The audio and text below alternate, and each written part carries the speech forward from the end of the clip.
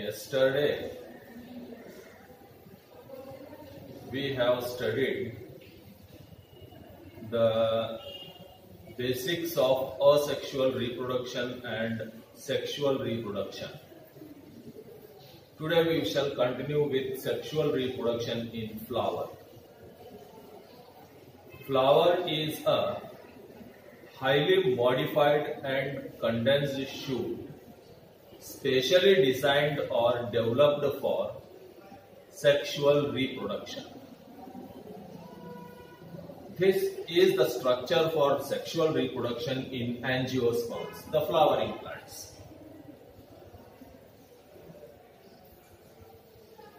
The male and female reproductive systems in a flower are androecium and gynoecium. Androecium is the male reproductive one, whereas gynoecium is the female reproductive one. Androecium consists of stamens, gynoecium consists of carpels. Androecium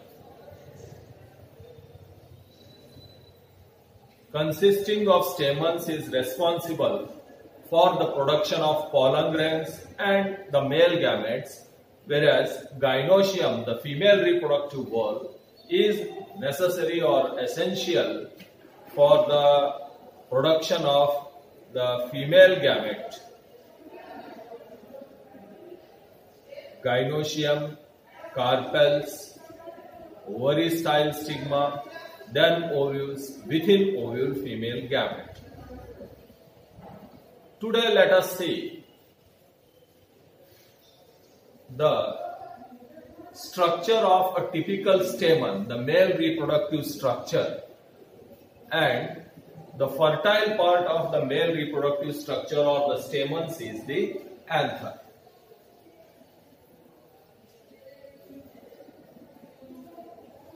Yesterday also we have studied the structure of studied the structure of a typical stamen. A typical stamen consists of the basal stalk-like part called filament and the upper enlarged tip or apex is called anther. The anther is generally bilobed means consists of two such lobes and it is separated by a sterile tissue called connective. In some plants, the flower consists of the anther with only one anther lobe. These are two anther lobes, hence called dithecous. In many plants such as China rose, hibiscus, the anther is monothecous consisting of only one lobe. In monothecous anthers, connective is absent. These anthers are the fertile structures of a typical stamen. Today, let us study the transverse section of a dithecous anther. So, this is the structure of the transverse section of a dithecous anther. Sexual reproduction takes place in angiosperms in a flower. Flower consists of male reproductive one called androecium. Androecium consists of male reproductive structures called as stamens. This is the structure of a typical stamen. Each stamen consists of basal stalk-like part called filament and the upper enlarged part called anther. Anther basically are of two types. In most of the flowers, the anthers are dithecous, two-lobed. And this two-lobed anther is separated in between with the help of a sterile tissue called as connective. In some plants, the anther is single lobe without connective. Such anther is called as monothecous anther. As anther is the fertile part of the stamens, we have to study anther in details and to study in details transverse section of anther is to be studied. Now this is the structure of a typical dithecous anther.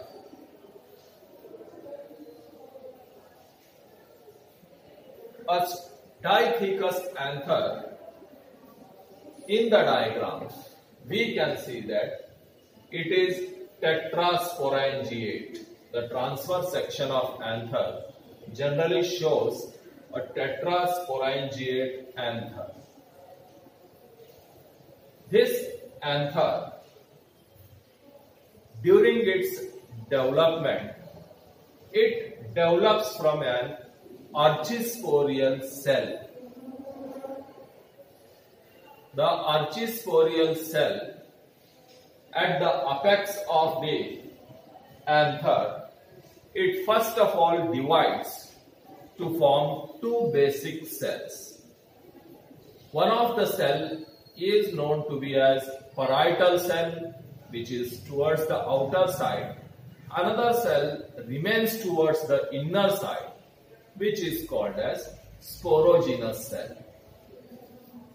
The outer one the parietal cell, it divides and redivides to form many different layers of anther wall.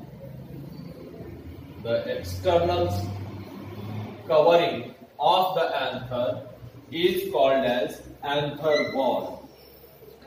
And this anther wall is formed. The anther wall is formed from the parietal cell in the beginning. The anther wall, during the course of development of the anther, it develops into four different types of layers. It forms the outermost layer of the anther, which we call it as epidermis. The epidermis is single layer made up of tubular cells and these are compactly arranged. Inner to the epidermis, there is a single layered endothecium. Single layered endothecium. The cells of endothecium show extra thickening of callus. They are extra thick due to the deposition of callus. Inner to the endothecium, there are middle layers. The middle layers may be generally 1 to 2 layers surrounding the pollen sacs or the microsporangia. And the innermost layer of the anther wall is the cells of tapetum and these cells of tapetum are little larger cells and they have the function of nourishing the inner sporogenous tissue present towards the inner side or enclosed within the anther wall. So basically the anther it during the initial stages of development divides from an archisporial cell the archisporial cell first divides into outer parietal cell and inner sporogenous cells. The outer parietal cell then later divides and redivides to form anther wall The anther wall shows the presence of four layers epidermis, endothecium, middle layer, and tapetum. The sequence of the different layers of anther walls follows in from outer to inner side. That is epidermis first, then comes the endothecium, then the middle layers, and internally the tapetum. Epidermis is single layer, endodermis is also single layer, but it is thickened due to extra deposition of the callous substance. Then the middle layers are many in number. Innermost tapetum cells are larger and nourish the inner developing sporogenous tissue within the pollen sacs or microsporangia. This is regarding the anther wall. Inner to the anther wall, the pollen sacs are present. As this is a tetrasporangiate consisting of four sporangia in a dithecous anther, the transverse section also shows one, two, three, four pollen sacs or four microsporangia. Now, why to call them as microsporangia or they are also called as pollen sacs? The two words. The pollen referring to any wall layer or any structure or say micro always the micro word during the study of reproduction, sexual reproduction in angiosperm refers to male structures, whereas the mega word always refers to the female structures. So in general, we can say that microsporophylls can be compared to the stamens.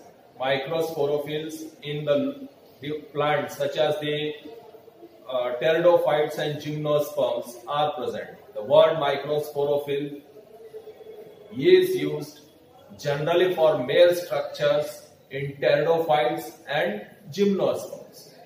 Here also, in the course of evolution, we can say that the microsporophylls have been evolved into stamens. Stamens microsporophylls. Within the stamens, there are pollen sacs. Pollen sacs can be called as microsporangia.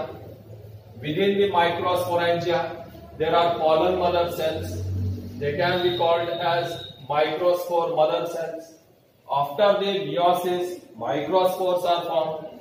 These can be called as pollen grains. The word pollen grain refers to microspores. So what I want you to understand here is all the structures here can be called with double names. Stamens, microsporophylls, pollen sacs, microsporangia. In the pollen sacs, there are sporogenous tissues. Those are microspore mother cells. Then the pollen grains called as microspores. Microsporophylls, stamens. Microsporangia, pollen sacs. Microspore mother cells, pollen mother cells. Microspores, pollen grains. So, both the different words are to be remembered for the study uh, in detail study for the examination of NEET. So after completing the anther wall, we come next to the inner tissue that is sporogenous tissue. So in TS of anther, how many? Two different main structures are present. One is anther wall consisting of these four layers. Second is the pollen sacs, the microsporangia. The pollen sacs or microsporangia are surrounded by all the sides with the anther wall. These sac-like structures, they consist of the sporogenous tissue, the fertile tissue which produces the spores. The sporogenous tissue is present. As the anther goes on maturing, this sporogenous tissue present in the pollen sacs or microsporangia, they grow and they are nourished by the cells of tapetum. The sporogenous tissue later behave as microspore mother cells or we can also call them as pollen mother cells. Now these microspore mother cell or pollen mother cells, they undergo microsporogenesis. Now, microsporogenesis. What does this word mean? The formation of tetrad of microspores or pollen grains, haploid tetrad of microspores or pollen grains from a diploid microspore mother cell through meiosis cell division is called microsporogenesis. What is microsporogenesis? The formation of haploid microspores from diploid microspore mother cells by the meiotic cell division is called microsporogenesis. Where does microsporogenesis takes place? Microsporogenesis takes place in the sporogenous tissue within the pollen sacs or microsporangia.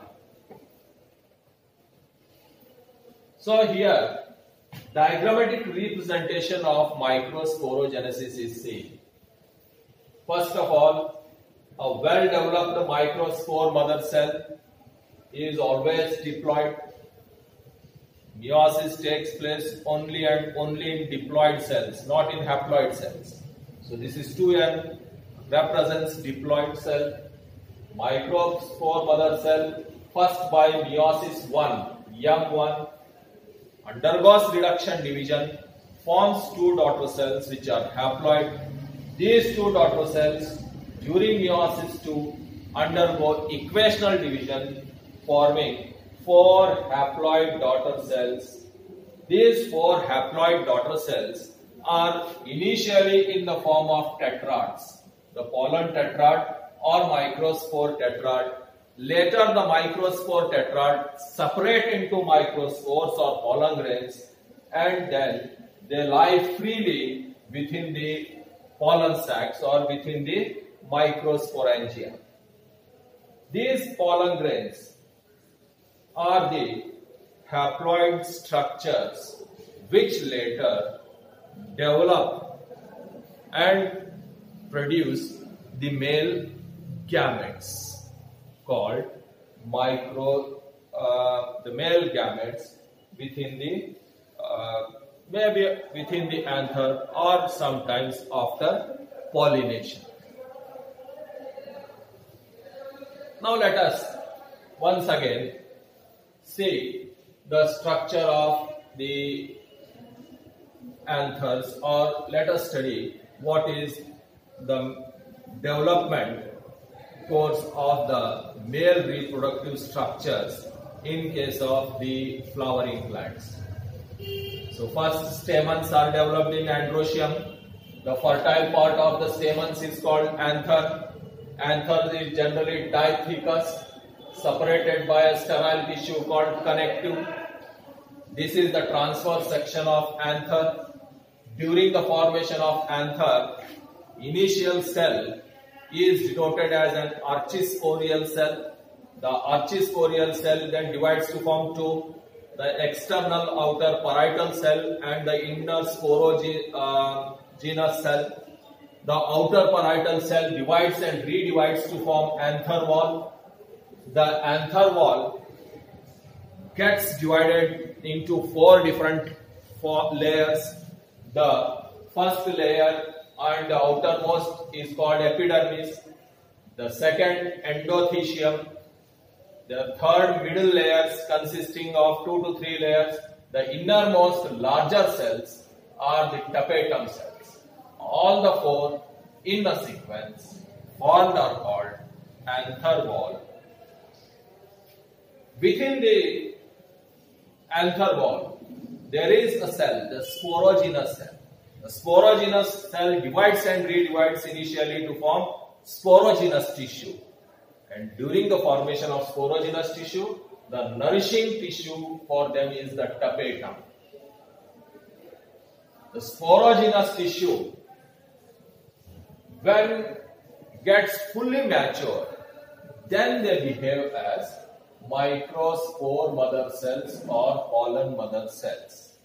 The microspore mother cells or pollen mother cells are always diploid. We have studied the process of mitosis and meiosis in 11th standard. We can now understand what is diploid and what is haploid. During the process of microsporogenesis, it always takes place in diploid cells. The diploid cells which are present in the pollen sacs. The pollen mother cells present in the pollen sacs, they divide by meiosis by M1 first and then by M2 in all forming four daughter cells. And here we have to remember that the parent cell is always diploid and all the four daughter cells formed are always haploid. These haploid cells now represent the pollen grains or they are called as microspores. Once again, remember, all the stamens can also be called as microsporophylls compared to microsporophylls. The pollen sacs compared to microsporangia. The pollen mother cells compared to microspore mother cells. And the lastly formed haploid pollen grains can be compared to microspores. Both words, pollen grains and microspores mean the same. So with the formation of microspores or pollen grains in the microsporangia, the development of the anther is complete. When the develop, anther develops completely on the filament and there is formation of microspores or pollen grains, the next process is dehiscence, breakdown of the anther to release the pollen tetrad or pollen grains. This anther has to be broken down and the pollen grains must be released out for the process of the fertilization or pollination and fertilization. Now, how the anther gets broken down or how it is dehisced. Here, the cells of endothecium. Now, these cells, the second layer, endothecium, plays a major role for the dehiscence of the uh, anther. The cells of endothecium in the region, in the other regions are thickened due to extra deposition of callus. But in the region of groove, the endothecium is thin walled and it is hygroscopic. Hygroscopic, it uh, shows many changes within itself. The cell membrane, the cell wall, the inner cytoplasmic content, by absorbing the water as well as by losing the water. Such a characteristic feature towards the uh, presence and absence of water is hygroscopic nature of the cells. So the cells of endothecium as well as the adjoining cells of the epidermis etc. in the region of groove, they break down they dehisce here, the middle layers they degenerate, disintegrate many times. When the middle layer disintegrates, the other tissue also here disintegrates and the pollen grains of both the pollen sacs or microsporangia, they are released out here through the region of groove with the major role of endothecium, the hygroscopic cells. The pollen grains are thrown out or released out of the anther of both the sides. The diagram here is tetrasporangiate anther. I have drawn one side of it. The same is to be drawn on the other side also. In the examination also, you can draw complete diagram of one side. It is to be understood that the second side also is of the same type. This is how the anthers are formed, the wall layers are formed, the inner pollen grains in the microsporangia are formed with the process of microsporogenesis. After the complete formation of the anther, dehiscence of the anther takes place in the region of the groove. The middle layers degenerate. The pollen grains from the pollen sacs are expelled out and thus the release of the pollen grain from the anthers takes place. Further process is now concentrated on the pollen grains, these pollen grains. They further carry the process of the development of the male gametophyte. Before the development of the male gametophyte, let us study what is this pollen grain. As these haploid pollen grains now are lastly formed and released from the microsporangia, let us study what is the pollen grain or the structure of a single pollen grain. This is the structure of a single pollen grain. So here we can draw a diagram of pollen grain, then exine, intine, spines, germ pores, nucleus, haploid. There is dense cytoplasm within. Let us study the structure of a single pollen grain. How to define a pollen grain? Pollen grains are unicellular spherical, uninucleate, haploid, male reproductive bodies developed in the pollen sacs of the anther. Each pollen grain consists of externally two layers. The two layers collectively is called sporoderm. The outer layer of the sporoderm is called exine and the inner layer is called intine. The outer layer is thick and made up of a complex substance called as sporopollenin. The sporopollenin is non-biodegradable and it consists of the chemicals which keeps the exine hard and the inner delicate part of the pollen grain is protected. In some regions on the exine, there are very there is very thin layer of exine. These thin layers are generally known to be as germ pores. These germ pores they are required for the further development of the pollen grain into a male gametophyte. Generally, it is uh, said that in monocotyledons, the pollen grains are uniporate whereas in dicotyledons they are triporate and so on. It may also differ to some extent.